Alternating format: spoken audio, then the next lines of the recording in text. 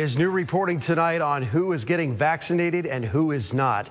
ABC Action News reporter Mary O'Connell breaking down this data and what it now reveals.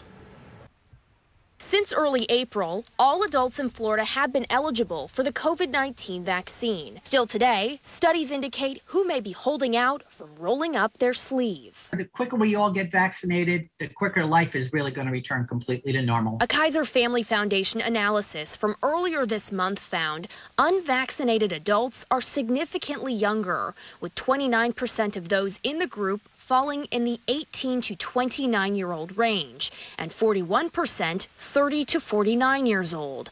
That's compared to 20% for unvaccinated people 50 to 64 and 9% for unvaccinated people 65 and up. I asked USF Health's Dr. Thomas Unnasch about the data for younger age groups. I think the fallacy is, oh, COVID is not really that bad for us. If you look at the, the, the mortality numbers, people in my age group really aren't dying from this thing.